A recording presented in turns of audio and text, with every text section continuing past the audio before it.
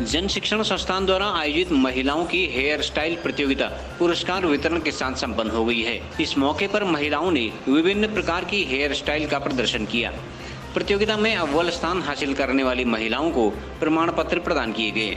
कार्यक्रम में जज की भूमिका निभाने वाली अनीता टमटा ने कहा कि ऐसे आयोजनों से महिलाओं के अंदर छिपी प्रतिभा को निखारने का मौका मिलता है।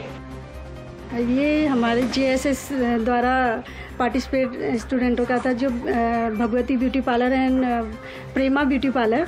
जो ये लोग तीन महीने से कोर्सेज सीख रहे हैं, इसमें आज हेयर कंपटीशन रखा गया था, जिसमें दो, सभी लोगों ने अच्छा प्रतिभाग किया और सभी ने बहुत अच्छे हेयर स्टाइल बनाई हैं, जिसमें से हमने तीन लोगों का चुनाव किया है, जिसमें सर्वप्रथम कंचन मैडम का है और सेकंड में है बबीता कोहली और थर्ड में है हर्षिता परिहार तो मैं इनको बहुत बहुत बधाई देना चाहती हूँ कि ये आगे अपने भविष्य में इस चीज़ को अपने स्वरोजगार में अपनाएँ और अपना आजीविका अच्छे से चलाएँ।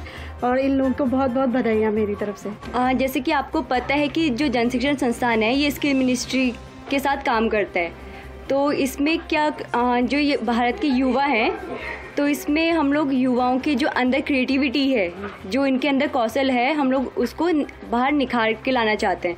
तो इसी वजह से हम लोगों ने इनके बीच में बीच बीच में हम लोग इनके स्किल कॉम्पिटिशन करवाते रहते हैं। क्योंकि जो इनको हम लोग ट्रेनिंग देते हैं वो हम लोग स्किल से रिलेटेड ट्रेनिंग देते हैं। सीसीएन न्यूज़ के लिए हिमांशु जोशी की रिपोर्ट।